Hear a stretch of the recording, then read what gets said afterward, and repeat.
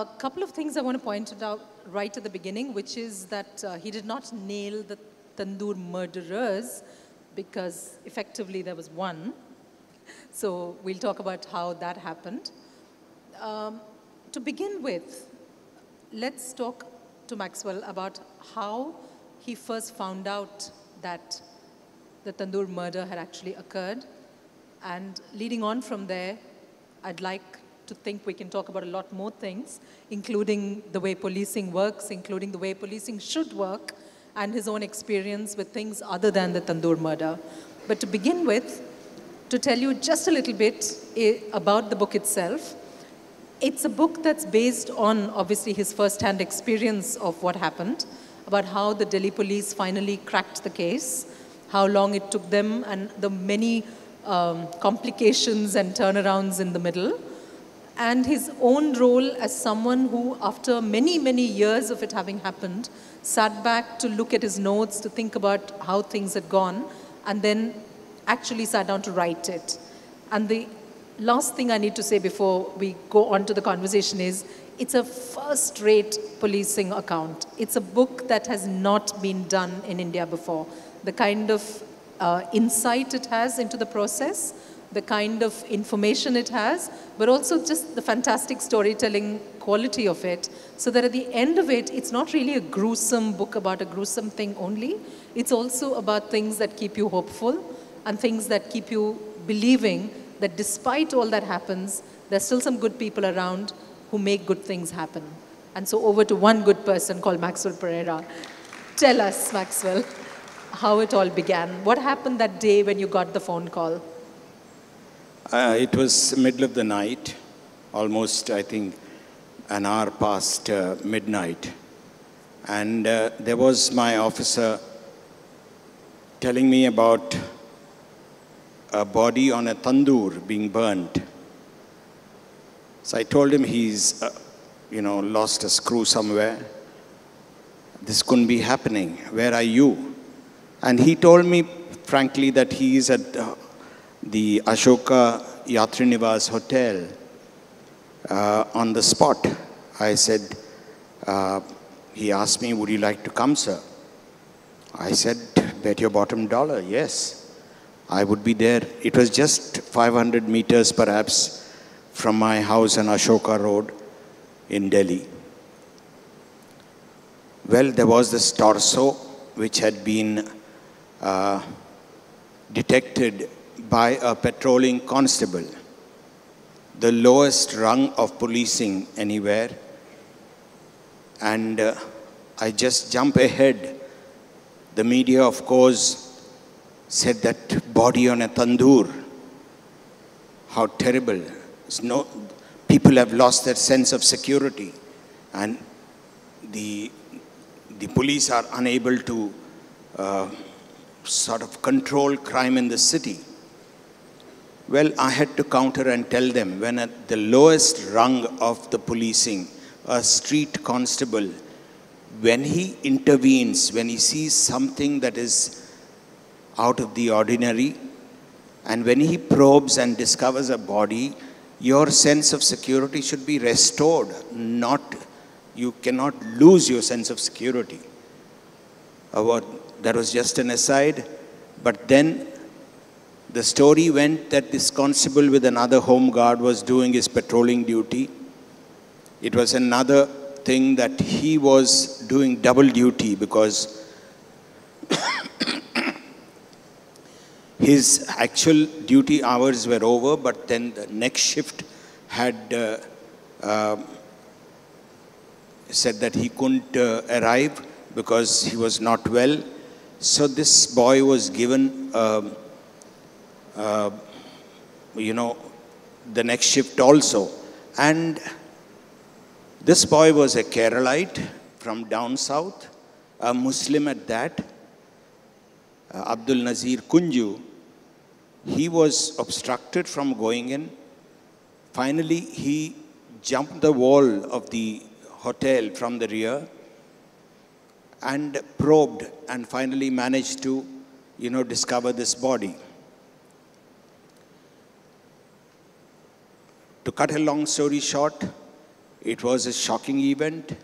It was everyone, there were so many speculations about it because this, there was very little in the entire body that uh, could be um, recognized or uh, as somebody's body. All that we could make out, it was a woman's body. It was of a very fair person. Next day, of course, the papers carried the description because there were certain bones, some bones were found in the tandoor. They declared, the media declared that it was, you know, a chopped body. And there was so much of distortion in the media reporting. And, but then we stood our ground. By morning, we had done enough of investigation to declare the likely accused. And we name the accused. Normally, we don't name an accused in uh, investigation unless we have arrested him, unless we have enough evidence. But here I took the bold decision the moment I knew it was a very prominent, very well-known public figure, uh, the, the president of the Youth Congress then. And uh, we declared immediately so that I wanted him to be declared a persona non grata right from the beginning so that whatever political clout that could be, um, you know, was neutralized just by this announcement of him as the, I made him a pariah totally in the political circles because any politician would be, would think twice before he could be, you know, sort of supported. So, Maxwell, can I interrupt to ask, is that something that happened a lot in your time, that the politicians would actually interfere enough to pick up the phone and say, let that person off, or, you know, do something to support someone who's a problem? Uh, does that, did that happen? Yeah, without, without that kind of an environment, I wouldn't have mentioned that because that generally happens. That generally, at least the politicians normally try to interfere. How do they do it? Do they pick up the phone to the topmost man or, or? Depends. One of the things that I always, one of my seniors told me uh, when I joined the police force that you know, there will be pressures, there will be people interfering. You bend but once. You bend and you remain bent for the rest of your life. The moment you do not bend, your reputation travels before you, and people. I have never been interfered by a politician. I mean, I, I very, it's very difficult for people to believe that, but I have never been a victim of uh, political pressure. But so tell me, was there a moment when you when you were almost ready to bend and then you decided no, I won't? How close did you come and when was that? Oh, much much before in service when I was a very young officer.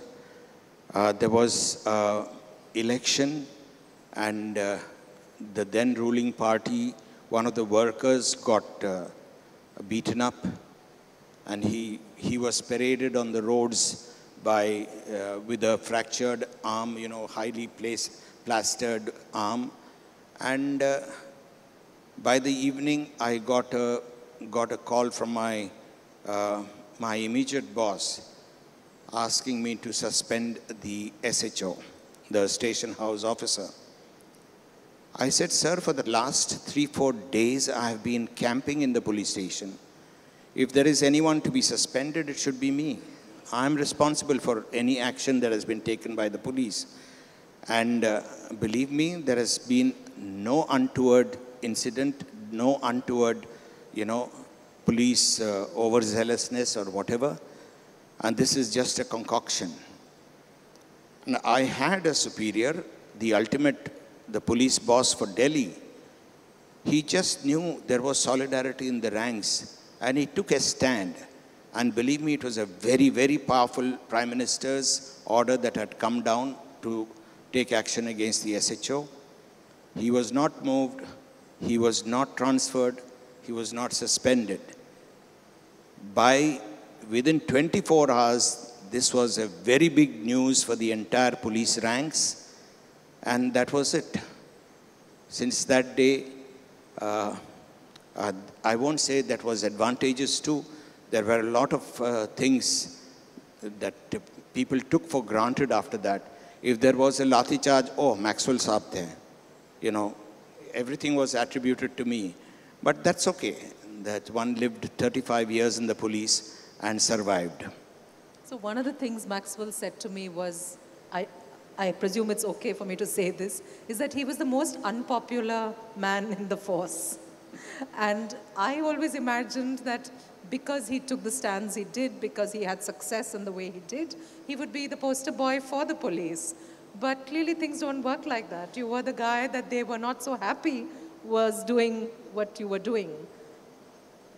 Well, these are some of the things that one has to put off. I was very popular with my superiors. I was very popular with my uh, subordinates. But uh, I won't say the same thing with my colleagues. The same level of uh, this one because my boss always told me that, uh, well, your own efficiency could be intimidating to others. I'm not here to praise myself or talk about myself. I think we should talk about the book. we but the interesting thing is that it's because you are the person you are that a lot of things happened during that Tandoor murder which involved you personally, which was beyond the case itself. So tell us a little bit about that, about getting caught in situations like uh, he spoke to the press during this investigation, and that created a whole ripple effect, which then went on to bog that investigation down a little bit. And it's something I know that Maxwell has been interrogated about many times in the past, but it'd be interesting to look at it now afresh and how you might do it differently, perhaps, if at all. Will I you give us a little background to this first? I don't think I would ever have done anything differently. Uh, by nature, I am a very impulsive character. I take a decision in a moment and stick by my decision. And uh, this has stood me in good stead all along. But then coming back to the book. What, what exactly happened that you said, what you said to the press that caused this? Well, in this, uh, when I finally arrested, it was first of all, um, at my level, at an, I was an additional commissioner then, at my level, nobody went for field actions. Uh, but then the commissioner, Mr. Nikhil Kumar, uh, decided that I will go and fetch because the accused was already, you know, he had shaved his nut in the going to Tirupati temple to mask his identity. He had secured anticipatory bail in a Madras court. And uh, then finally, when we moved, my publicity, my, my sort of contact with the media to a level, it was a national sensation. And people were up in arms. People telegrammed the Supreme Court for intervention. And uh, well, he was forced to go to Bangalore and surrender himself.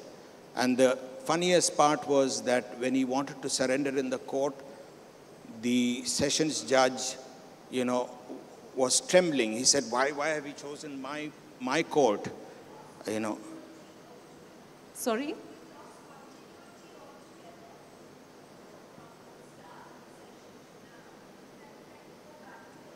You should be reading the book for that. He's here to discuss the... I, Okay, okay, okay. What? He's telling you the background. Hold on. You need to, she wants to know. You want him to basically go through the entire book and tell you the, what happened?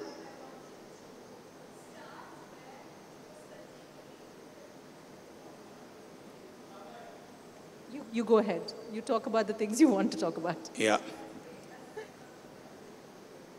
Uh, well, all that I can say is that uh, we had, I think she wants a connection between the arrest and what happened before yeah, that. but that's what the book is about. That's yeah. supposed to be reading.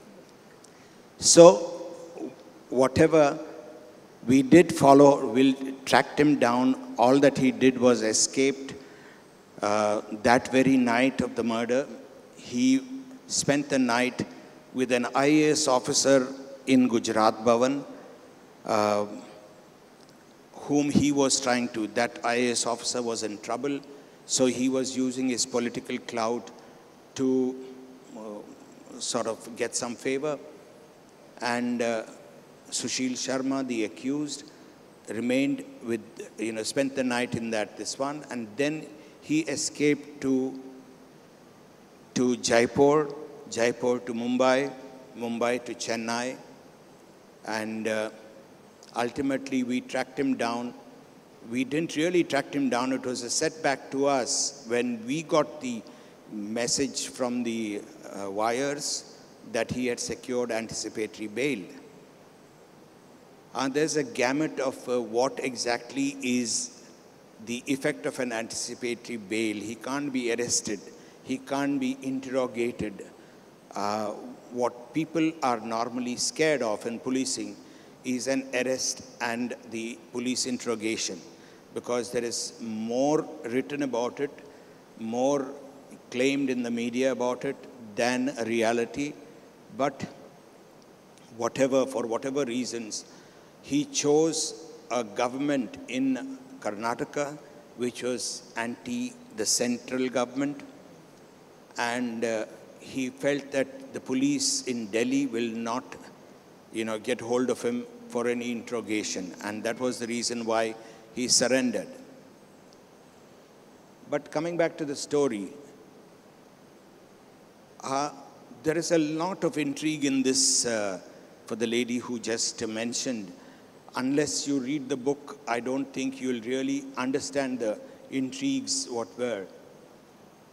All that happened was I flew down to Bangalore to take custody of him with some support staff, and we had to fight in a local court to get custody.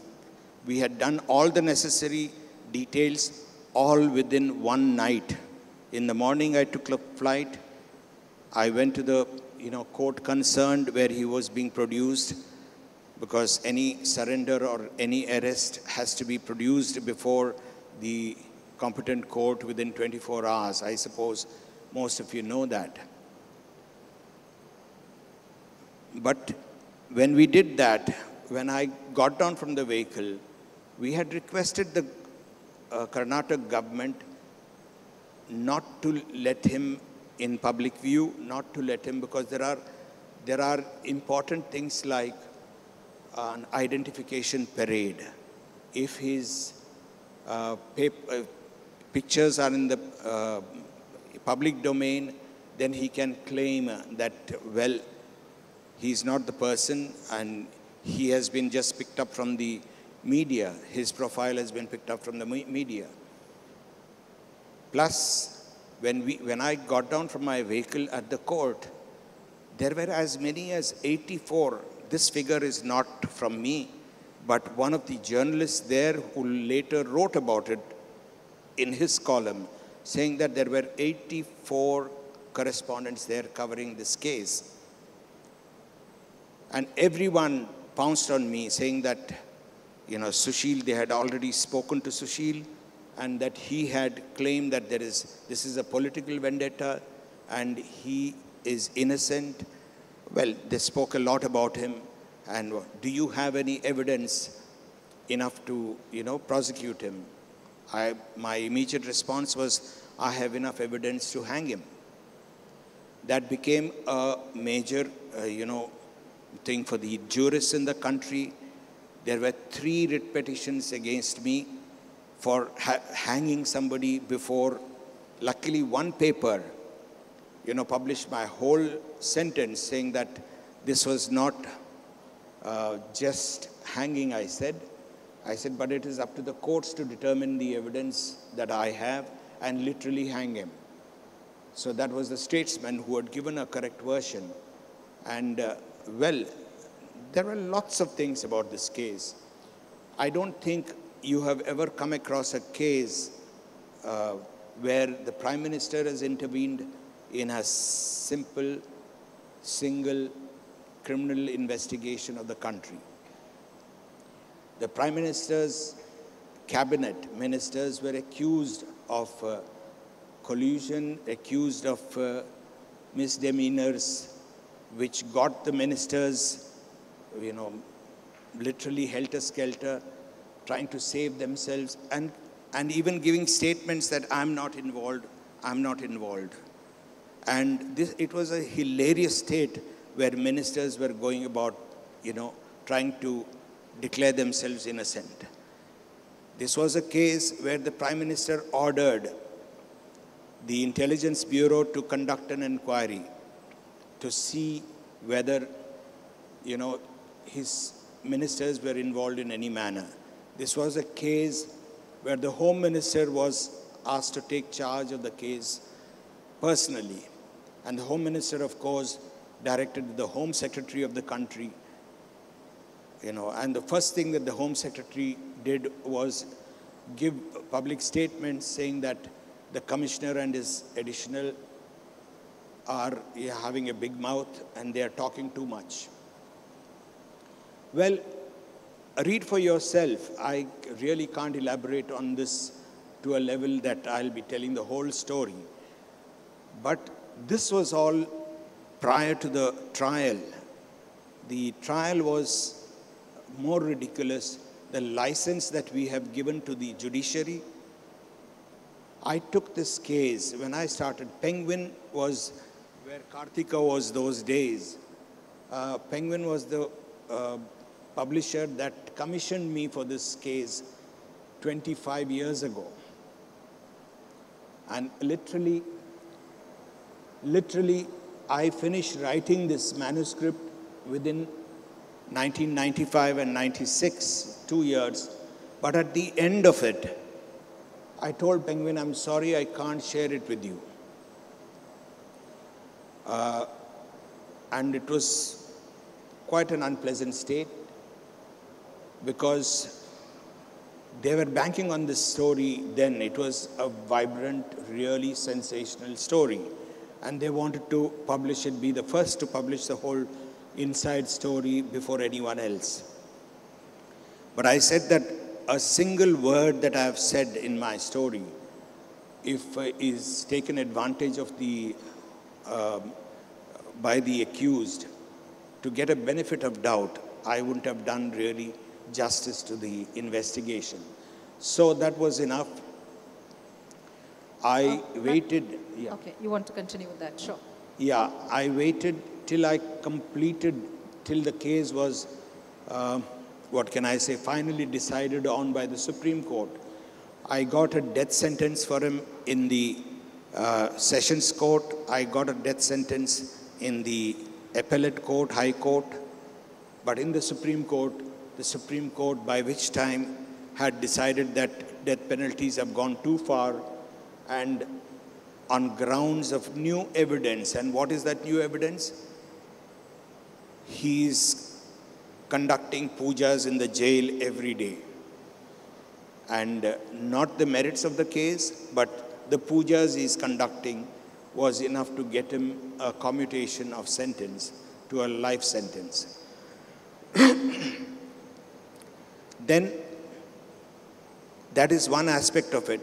The Home Secretary went to the scene of crime, the house in which Naina Sahni and, uh, and uh, Sushil um, Sharma lived clandestinely. He did not, he kept her locked up inside the house. He did not want his liaison with the, uh, with the wife he had married uh, known to the public. And these are little, little things put together in the entire investigation. We had so many adversities in this case. Like, for instance, within the day, the, the single person whom we had arrested was the manager of this restaurant, Keshav Kumar, and he was so loyal to his boss that he would not you know, disclose in his identity or where he stayed. We, we raided every single place known to be associated with him, his parents' house, his friends and associates, political connections, everything we did, but it was uh, Keshav Kumar who finally admitted to us that the body was of uh, uh, Naina Sahni, his wife. And the one clue he, on the third day, he gave us this clue of uh, the house, saying that it's the only house in the Mandir Marg complex which has an air conditioner in the house, on, on the window. I mean, that is a middle class, you know, uh, lower level government housing. And most people could not afford in those days the air conditioner. So mostly it was air coolers.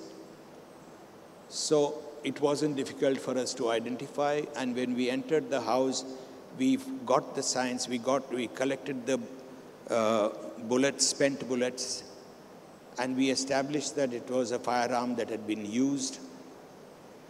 And after that, on the fifth day, the doctor who did the postmortem, he said that there was no firearm used. On the basis of what? Because the, the X-ray machine in the hospital was dysfunctional. So without an X-ray on the body, he had declared that no firearm had been used. I had to go to the government, see that a medical board was constituted of eminent forensic experts, and establish the, they found two spent bullets, in the, one in the head, one in the neck. So there were so many things that happened in this case. It was after Rajiv Gandhi's, uh, uh, you know, DNA test on the body. This was the first criminal case in which DNA was used to identify the body. But a later murder, Priyadarshini Mattu's case, uh, in which DNA was used by the same, the judge who tried the Tandoor murder had earlier tried the Priyadarshini Mattu case in which he had thrown out the DNA identification. There was a stage at which my commissioner had to relieve me of the complete investigation on the basis of just handling the reportage in this case. The reports to the parliament, reports to the home ministry, reports all and sundry everywhere, one had to do that. And we had another very, very illustrious uh, crime branch in charge, Mr. Tiwari, he was entrusted with the task of preparing the charge sheet.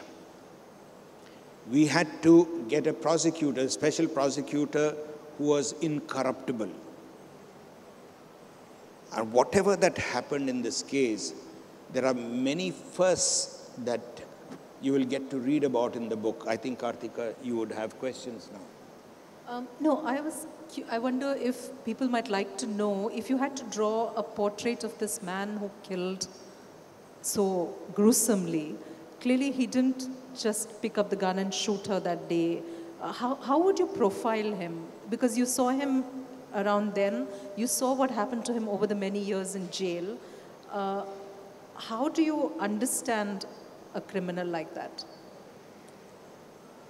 Uh, right from the beginning, you know, we treated him as a normal human being, vulnerable at any stage, but then the deviousness with which he was able to manipulate and uh, picture himself to the public, to the judiciary, to the media especially, who portrayed him all the time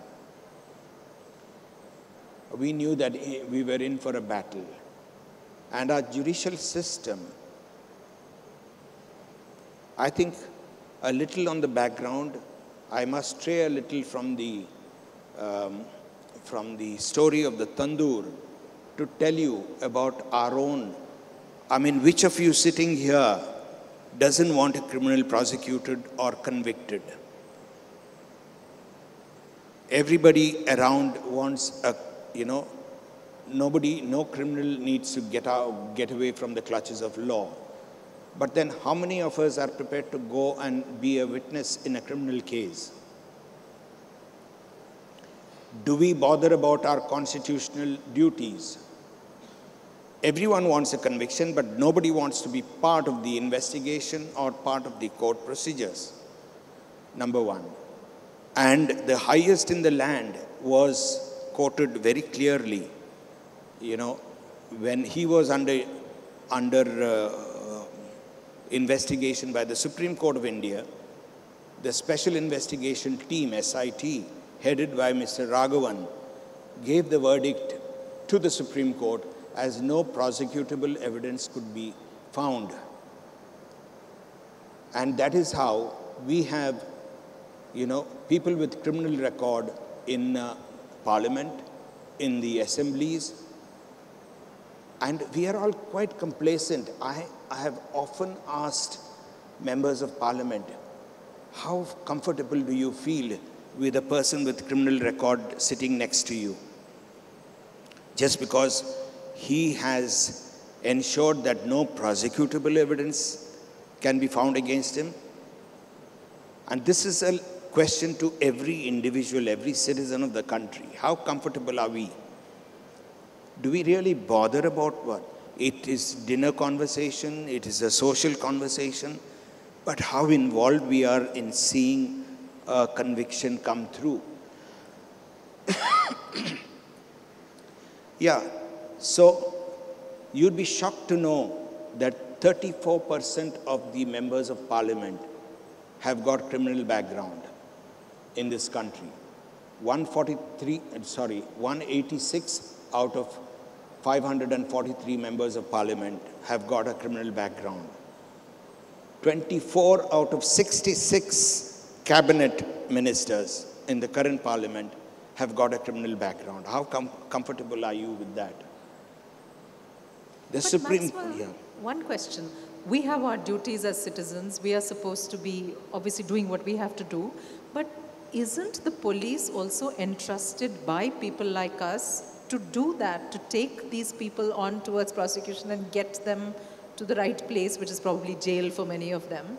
So is the police sort of passing on the buck by saying, why aren't other people doing their job? Shouldn't they be much more trustworthy from our point of view? Yeah, it's not the question of only trust. Uh, all I can say is that we are following laws that were enacted 150 years ago. For 150 years, we have not found the need to change these laws, which were framed by colonial powers. Do you know there is so much of sensation when an accident takes place, drunken driving takes place, but the Motor Vehicle Act has only one section, 3, 304A for a negligent act under which we prosecute a motor vehicle accident. And that, that section was framed at a time when there was no motor vehicle in the world. And we are applying that to the motor vehicle. We have not changed these sections. We continue to, you know, because there are various reasons which have been gone into. There was an illustrious policeman who went after their retirement, went to the Supreme Court and, and uh, prayed for police reforms. Prakash Singh and N.K. Singh, these were the two officers who went to the Supreme Court. They got the Supreme Court to order the police reforms. To this day, it is, we are 12 years plus since the time the Supreme Court ordered police reforms. No chief minister has obeyed. They have all defied. And we are comfortable. The whole country is comfortable. Has any, have, we are all voters. We all vote people into power. Have you checked up if any election manifesto has got police reforms on their agenda? Um, Maxwell, can I take you back to uh, Sushil? We talked about him. You talked about the system that I suppose helped keep him where he is and so on. I don't know how many of you read the fact that towards the end, very recently, he came up for uh, release from jail because he'd already done the number of years that had to be. And then a committee decided that they, he had to remain in jail. Uh, they couldn't let him go. So tell us a little bit about that process, but what happens in Tihar when someone gets a life sentence and how Sushil then negotiated that and what came of it at the end of the day? It's, it's embedded in the people's minds that a life sentence in this country is 14 years. Uh, the, mm, things are changing now. The justices are, you know, giving a sentence for the entire life, not for 14 years now.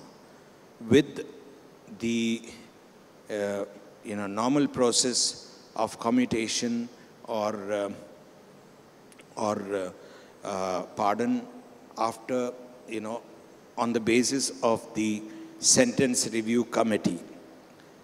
So, but to the Supreme Court justices, while commuting his death sentence to life, went to the extent of saying that he deserves to be released immediately.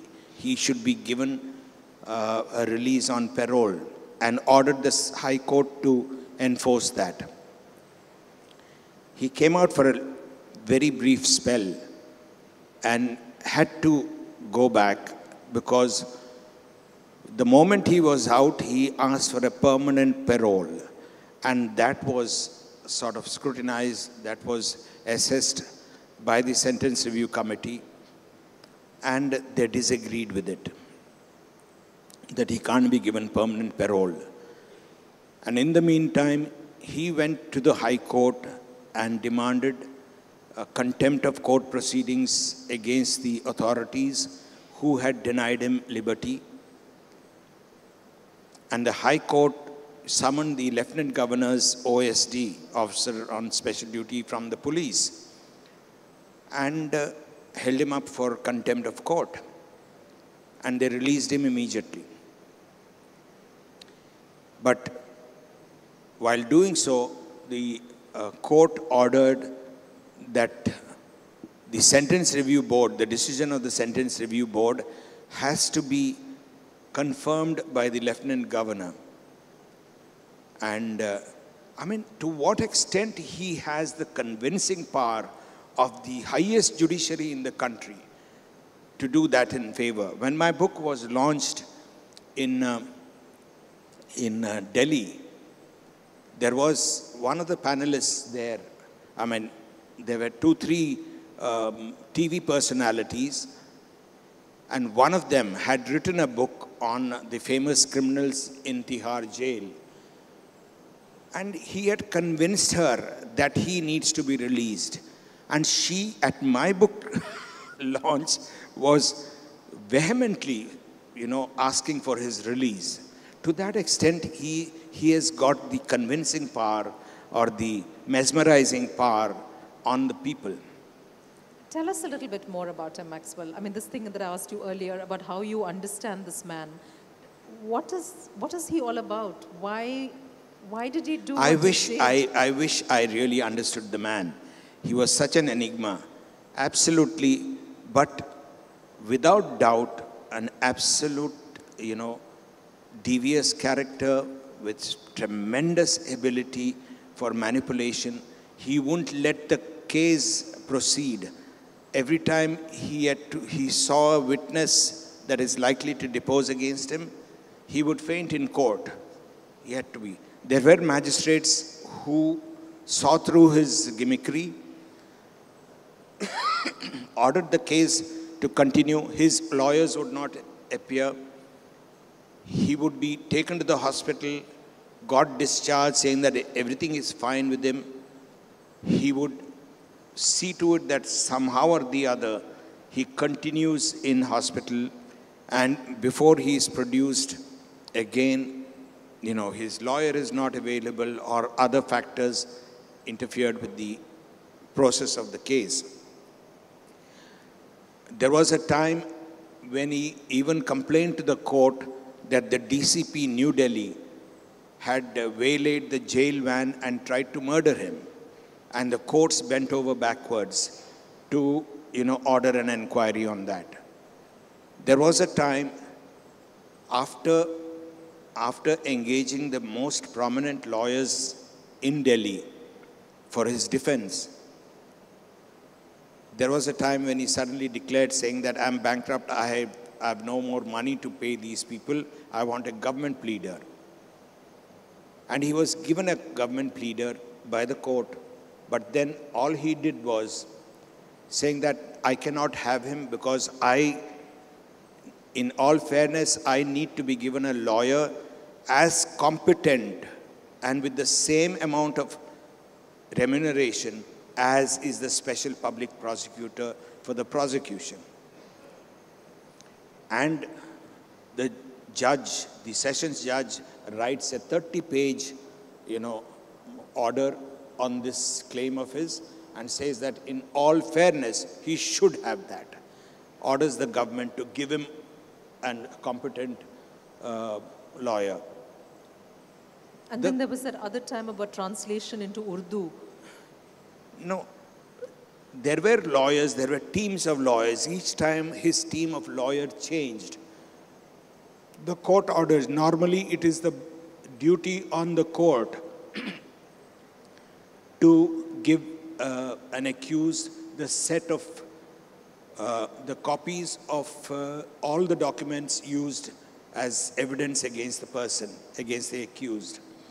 No, the court is, Can never do that. They force the police to get the copies done.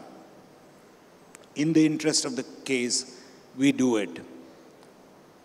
I use this opportunity of this case not to tell you all a story, but to make the public aware of the laws, of the chicanery and the machinations, the intrigues involved in getting a person, because every, it's so nice to badger the police, to paint them black and blue. There are a lot of maladies, believe me, in the police. But then the amount of legacy that we have carried no, in my previous speeches, I've said that if one is to follow a law to the spirit, to the exact word of the law, you can never convict a person in this country. You can never, I can tell you, you have a burglary in the house, your jewels have been stolen. The law requires me to produce that recovered jewelry in the exact form and you to recognize it and declare that that is my jewelry which has been stolen. If you are a policeman, you'll know that this is practically impossible. That what happens in the end is that every criminal who has stolen jewelry or gold, they'll crush it first. They'll palm it off to us, uh, receiver of stolen property. And that one, the police is forced to recover. How does it, how the police do that? He gets the receiver of stolen property to recast it in the picture of what it was original. This is what we call in police language padding of a case. There are a hundred examples like this I can give you. It is impossible to follow the law. That's why we have to. And you make this is the only country in the world where no handcuffing is permitted. You're breeding, the constables are, you know, entwining their fingers along with the accused's fingers, producing them in court, taking them anywhere.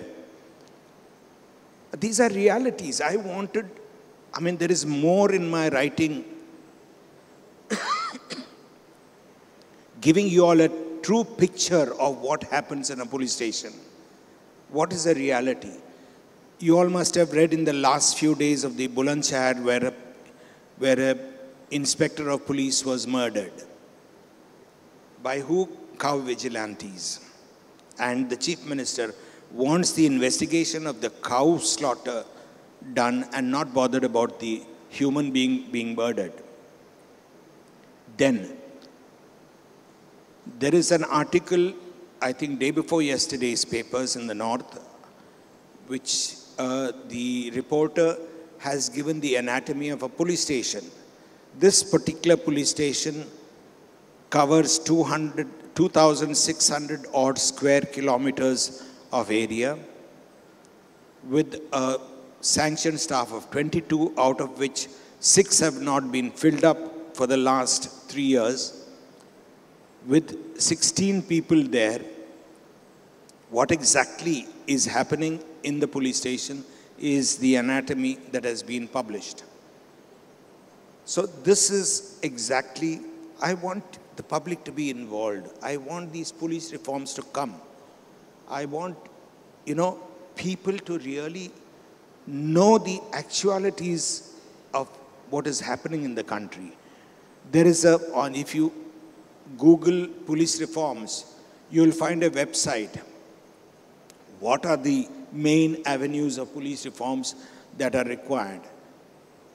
But we defy even those kind of a thing. The fiasco that is happening in CBI today, where confirmed tenure has been given to the chief. Minimum two years tenure has been given. This is one of the things for the government uh, non-interference. But in the government plants another officer to create a situation where there is discord between the two officers. I mean, we have made ourselves a laughing stock. We are just not concerned, and the public is not concerned. Why? This is what I'm, you know, we will laugh at it. We see the fiasco that is happening. We read in, about it in the media. But when we are not involved, why do we not? So, point taken about not doing enough, but if this room full of people had to do something to make things better, what can they practically do? I mean, are you saying they should go out on the streets and make a big point of it, or does one go to the court and file a PIL, or what does one do? Yeah, there are those avenues are there, of course, but then it all boils down to, you know, who you elect as your representatives. But Maxwell, there's no difference. You voted the Congress to power, then you voted the BJP to power, then you vote anyone else to power. Has anything been significantly different, different between what one party does and the other when they're in government power? Yes, but then why do you vote only people against a party? Okay. Today, why don't you choose your representatives? Why don't honest people come forward to, you know, be involved? Difficult, I know. It's, a, it's difficult. I, I agree. So It would, is that something you would do? Would you, now that you are not a working cop in the old way, would you go out and be a politician? Would you fight the battle? I won't say I will fight the battle. I think the fight in me is uh, not alive anymore. I turned to be a writer, so I'm fighting my battle through my writing. Fair enough. Yeah. Okay. Um, I don't know if we have question time, but I want to ask Maxwell to go back to the Tandoor murder to tell us, just in summary, it took more than a decade for the entire thing to be resolved, for the conviction to be finally sort of ratified. 18 years. 18 years. Uh, what has that case changed for either police precedent, in terms of police precedent, or for the courts, or for anything in society later? Is it more significant than just one criminal nailed? I think uh, in the last one year, uh, the book has been alive. Around uh, this time, uh, no, a little more, It was little less than, little less than a year. But I have addressed a lot of people, and the and the enthusiasm with which it has been received, the the demands for my speaking on the subject are growing, ever growing. You are witness to that. And uh, my satisfaction is that if I have really converted people to be involved, I won't say you can. We always think that uh, what difference can one voice do? You would be surprised how much. With I congratulate you all. When I'm speaking here in this hall, we have Shashi Tharoor in the next one. We have Pavan Verma with Gulzar in the next hall. We have Nandita Das. And above all, we have, we have the naval band playing at the same slot. I must compliment and congratulate all of you that you have found it necessary or found it fit to be sitting to a boring crime story.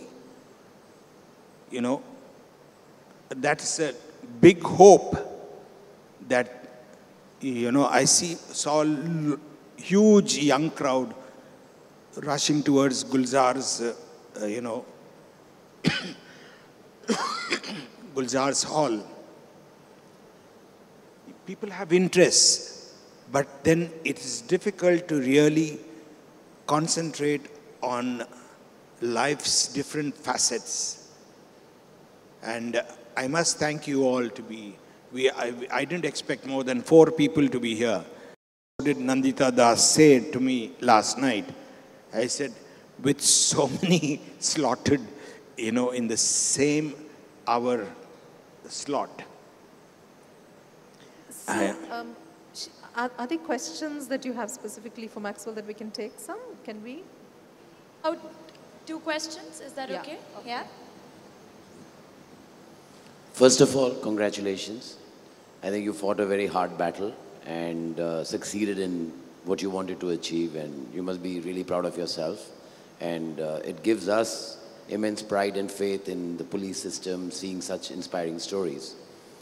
Um, I want to know whether this um, uh, book has been um, taken up for adaptation in um, for a movie or a digital series or something like that. Has it that happened? If not, I'd be very keen to explore that. I can only share with you that I had more than six uh, approaches from the production companies, movie companies and it's under negotiation at the moment. So, uh, already asked. Does anyone else have a question? There. Yeah. So, is it your first book?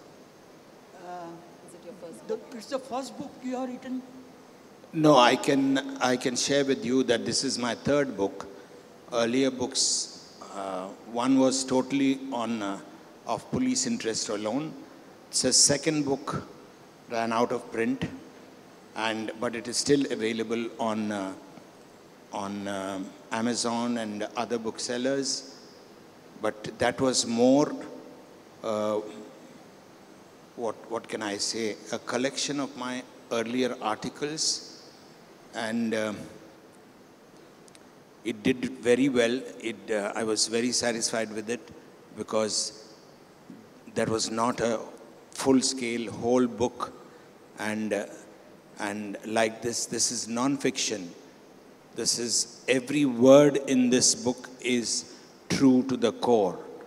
And I have vowed to myself that I'll never write non-fiction again because I think I found it more challenging because there are a million things that you have to worry about. You have to worry about copyright. You have to more worry about libel you can't really tell so much that you want to tell. You cannot use someone's name because that we, I would be using that name only if they have a role. And that role of theirs may not be to their liking, being talked about by somebody else. So these are the kind of constraints are there, and yet you survived. Three legal teams had to go through mine, including one from the publisher, had to vet my uh, manuscript before it could go publishing. And the first, most encouraging aspect of it was the publisher herself said that, oh, forget about it, don't worry, we'll handle it. And that was most creditable of this publisher. But I think a lot, lot can be said about uh, uh, fate or luck playing a big hand in this from day one, this book has taken off very well and has been liked. I got more than about, nearly about 30 reviews of this book, which have which did not have one single adverse word in the. Hi, Yeah, there's someone there. Maxwell? Yeah, Maxwell, I, I, I was following up on the case and I wanted to know about a character in your book called Kunju, who was the constable um, at the Connaught Place station. And you, I read an interview where you said that he eventually left the force uh, because of the proceedings related to. So, I mean, what is the collateral damage caused to, you know, a professional in the force in such a case? And was there a responsibility of the force to protect him and somehow ensure, you know, all of this didn't affect him in that way? All I can really comment on this is that we are all human beings. Ultimately, each one of us have our own aspirations, sometimes right, sometimes beyond right. You know, but what happens? We, you know, in fact, the initiative shown by that constable was phenomenal. And the first reaction of my commissioner, which I've carried in this book, was place him under suspension. Because when we came to know that Sushil Sharma was there actively burning the body, and he was not nabbed by the constable, who managed to nab the manager who was there. The commissioner's uh, immediate response was suspend him. So I didn't defy the commissioner, but I told the commissioner, please come to the spot. Of course, I'll be coming like I was summoned to the spot. I summoned my commissioner to the spot. And exactly what I hoped would happen happened, and we pinned the stripes on him, made him a head constable. That very day, within 24 hours, we gave him a promotion. I made him the constable of the year. The, every media house had a prominent page for this constable. He, he was the cop of the year. I mean, I got him rewarded. I got government sanctions to uh, let public reward him. I must have got him a couple of lakhs, which mattered a hell of a lot for him. So all this does go to the head of a human being. So he was cheesed off that after a while, like everything has a final limitation. He expected more promotions beyond, but it's a, it's a system that we all come into. I would have loved to retire as a full commissioner of Delhi. I didn't because somebody else was better than me for whatever reasons of the authorities. But ultimately, it's a person who accepts a situation or not. He was disgruntled when he did not further progress in the department and he resigned. Um, can I just make a last point before we take, uh, do we have time for one more question? Yeah, okay. One last question, please. Mr. Pereira, how important is your faith? How important is your faith in the pursuance of justice? Faith, your religion, your faith. Difficult, uh, you know, to answer this because the system that we have defies solutions. And that is why all of us try to contribute what we can to the system to make it better than what we found it, found you know, it as.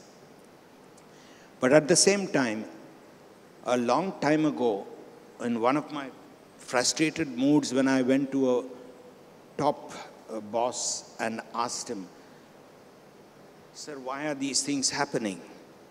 And he just turned around and told me,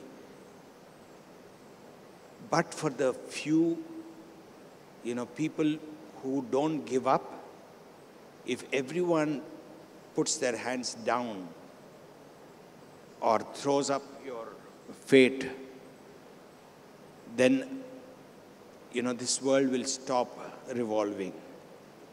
It's a little contribution of the, of the righteous or the people who strive to do the justice. Another simple thing that I mentioned about if we could handle a case like this and uh, achieve what we did in this, I can frankly tell you that there is no murder case that I handled I haven't solved. If I could do that, so could all the others. Yesterday, a gentleman traveling in the car with me told me that the police, you know, he has a lot of relations in the bureaucracy. And one of the things that he heard from them was that the police have tremendous powers to save someone from the gallows. A simple thing that one sentence in the reportage that he documents, he can save somebody from the gallows. And there's no question, no one can, very rarely can this kind of a thing can be detected. At the same time, it was Mr. Atal Bihari Vajpayee who told us in one of our police uh, lectures when he came to talk to us, he said there is no other profession in the world. He quoted the Mahabharata and the yaksh from the, you know, pond asking uh, Yudhishthir, what is the what is the greatest uh, dan? You know, dan is what donation, Yeah, gift. gift. donation. What is the greatest gift anyone can give? And Yudhit, Yudhishthir's reply was Abhay Dan. I mean, that exact meaning of it, that something that, you know, freedom from fear. There is no other profession in the world other than police or, and to an extent, the medical profession. These are the only two professions, but more the Abhaydan is the um, sort of uh, repository, the police are the repository of Abhaydan. So ultimately, it is that that the police can do, and that is the greatness of this profession, so maligned otherwise. Um, I realize that we've run out of time completely, but I want to just talk about the one absence in this entire conversation we've had about the Tandoor murder, about all the things that have happened. The complete absence of conversation has been about the victim herself, the person who died, who, who was killed so terribly. And so many things in the book itself talk about an absence otherwise. The fact that her own family refused to recognize the body, that they would not allow the process to continue. And it was the police who insisted that somebody had to come and identify it so that it could get the last rites as a person should get. Because without that recognition, they would have kind of done it in a way that is, you know, uh, an unidentified body would get. And I want you to just close by telling us a little bit about Naina Sahni and the tragedy of this that happened to a woman like that. I think all of you know, those of you who have followed this case earlier or read, it, read about it in the media, Naina was an extremely beautiful girl. And I think being a woman was the biggest tragedy in her life. She wanted love. She lived, there was a love triangle in this case too. And uh, we did project the third party in this as the main reason for the murder. But she was a very, very misunderstood. She lived with that person who was of another religion and ultimately had to dump him because he, she realized her family would not accept him. He would, you know, never marry her. and uh, yet she lived with him for seven years. She was a very competent uh, person. Her, immediately after the murder, from the pictures in the house that I distributed to the media, one of them was her picture with Rajiv Gandhi. And there were such similarities in the violent deaths that they suffered. Rajiv had gone to the extent of uh, promising her funds from the NSUI to do her pilot's course in England. She had already done the Indian pilot course and uh, she was aspiring to go to England. That was, that was how the picture was there. Um, it's fantastic fates. There were such coincidences. There were other cases also that simultaneously happened of Safdar Hashmi case. Judgment came, uh, you know, in the same same time as uh, this murder took place. Then there was uh, O.J. Simpson's case, if you have uh, known that there were similarities, exact similarities in this case. There were, we drew parallels from these uh, coincidences. I had covered it in my book. You'll find such fantastic uh, uh, aspects. But coming back to Naina, Naina ultimately, you know, when she dumped Matloob Karim, it was Matloob Karim who identified her torso only from the manner in which she had tied her juda. He identified her pajeb, the piles that uh, were on the feet, which the family refused to identify. The family's one stand was bring Sushil here and let him say that this is Naina. We couldn't understand that. It took us one month to call Naina's sister from Cochin to bring her to Delhi and for the family to accept. She prevailed on the parents finally to accept. And then they took pains to write her true story and published it in a three full page, you know, uh, handout to the press. And uh, Naina was running a boutique till then. Once Sushil married her, he made her close down that boutique. And uh, she already had got a visa from uh, to go to Australia, migrate to Australia. And there were a couple of attempts on her life which she sensed and uh, voiced to Matloob because he was the only person that she could rely on to confide in. And that is what Sushil had this habit of when he came home, he would go to the telephone and press the repeat bus, um, you know, redial button.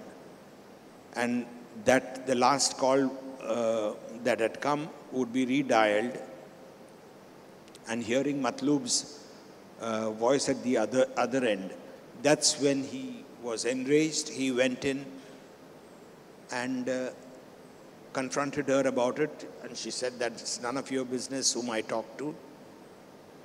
And he took out his revolver and shot her. So that was the tragedy. Um, then, of course, the media brought out a lot of stories about her which was unfair of the media. They highlighted the, her life with the, the Muslim guy. there are a lot of un, unfortunate, unsavory, and, uh, you know, inevitable things that the media brings up. We are not supposed to. The Supreme Court has again ordered that in a rape case, the victim's name should not be given but on some pretext or the other, media ensures that the name comes out. That is our social structure, unfortunately.